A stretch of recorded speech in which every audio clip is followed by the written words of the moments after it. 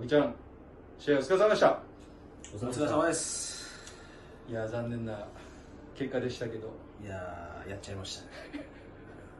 まあ試合前化けの皮剥がすって言ってたんですけど 僕が化けの皮剥がされたいやいい雰囲気だったんですけどね。まあそうっすね。見てる側としては。あー。まあ、前日もまあいろいろ見させてもらったんですけど、まあ、リカバリーもしっかりできていたし、まあ、入場もすごいいい雰囲気だったんですけどあ本人的にはどうだったんですか？いやまあでもそうっすね。まあいろいろ朝倉選手強かったですね。そうですね。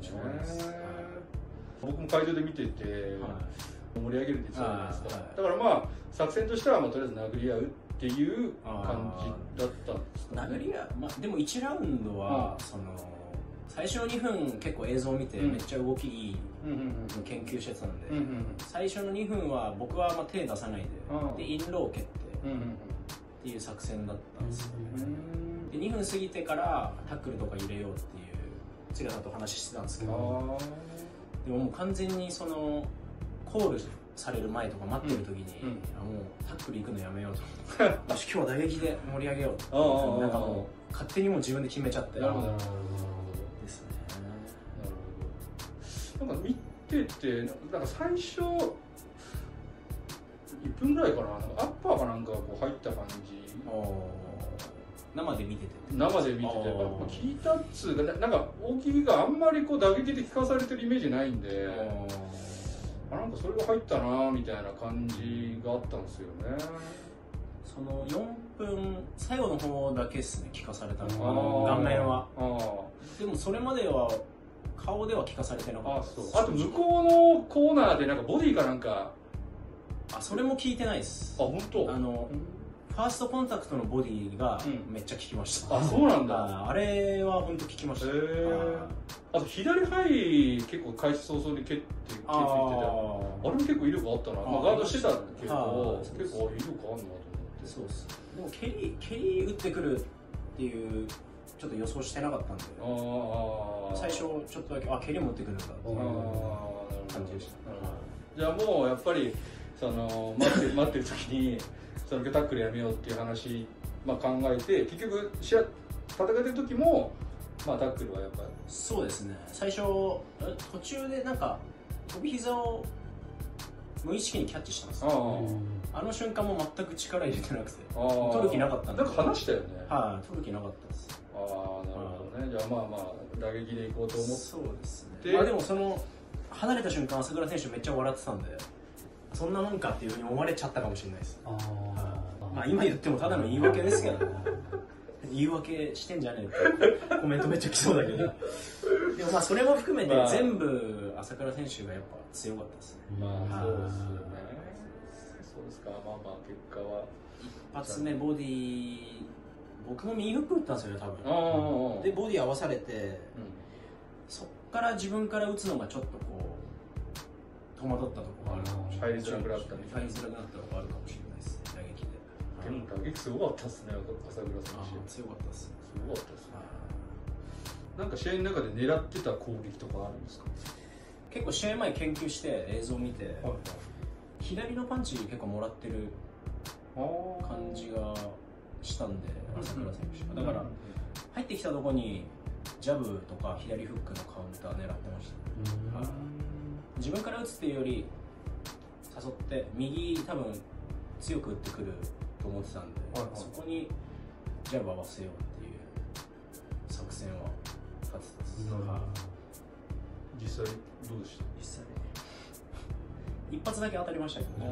あとは結構もうでもそういうマインドだったんで後手後手に回っちゃってたからちょっと良くなかったですね。インロー。インローもなんか効かせようっていうよりこうスタミナ切れるの待とうみたいな。よくないですよねそういう守りに入っちゃった。あと最後の打撃は何が効いたんですか？最後多分アッパーか膝だと思うんですけどなんかアッパーもらったこう記憶がないんですよ。記憶っていうか。だからもしかしたらアッパーで効かされてで膝でさらに効かされたのかなと思うんですけど。試合映像は見たんですか見ました。はい。多多分アッパーが効いたのかなうん。さらにこっちの顎がすげえ痛いんでいまだに。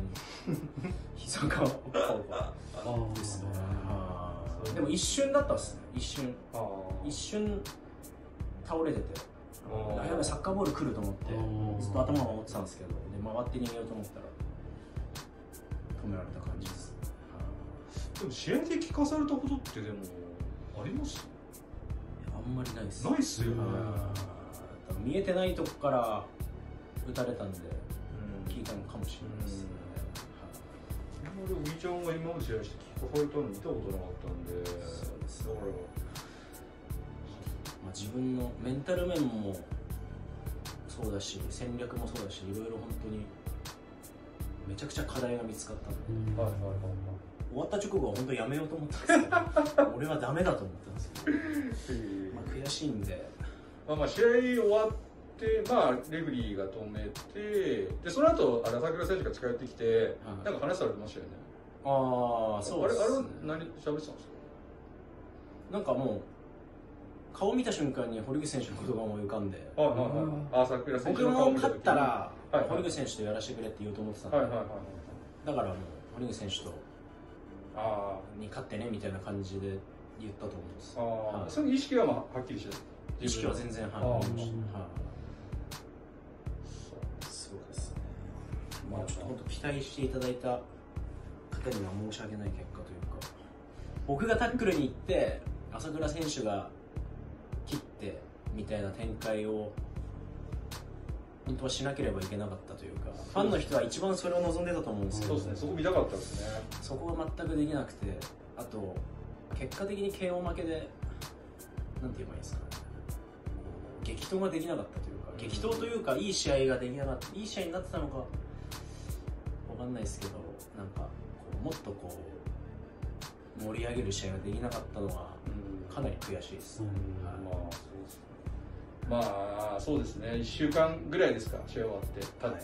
まあすぐの時はちょっとまあ落ち込んでましたけど今はだいぶ上がってきましまあでもだいぶちょ最初の時よりはたはいはいはいはい。前向きにはなってきてああそうですね、うんはい。今後どうします？か今後ちょっとまだ考えて まだ考えてないですね。けどでもやっぱりはいはいこのままでは終われないんで、はいはいはいそうですね。まあ、現役は続けて9月なんかあるみたいですけど。今今今のお前は何を言ってんだって思われるかもしれないですけど、はい。まあ、こっからもう一回這い上がって、うんはい。いや見たいです、ね、こっからベルト取ったらすごいな。いやすごいですよね。やっぱ人生長いんでそうですね。やっぱり。まだここがねおぎちゃんのピークじゃないと思うんですよ、ね、そうです。ね格闘人生。はい、はい。まあこっからまた這い上がってくるんで。そうですね。上がりまはい上がりましょう。それを見届けてほしいです。ファンの方に。9月あるみたいですけどわかんないですけど。はいビッグイベント。9月は出ないです。出ない。はい。でね9月は出ないです。まあ一つ言えることはまた頑張りますと。はい。いうことですね。わかりました。はい。本当に応援ありがとうございました。小木チャンネルはまあ今まで通り 続けていこうと思うので、そうですね。はい、おまたいや僕らも。そちらもよろしくお願いします。ついてきます。はい。本当にありがとうございましたありがとうございましたはい、またこれからもよろしくお願いします、ありがとうございます。私はリュウだ最後まで見てくれてとても嬉しい。チャンネル登録はこちらを見たい動画があったらここをクリックしてくれ。ではさらばだ。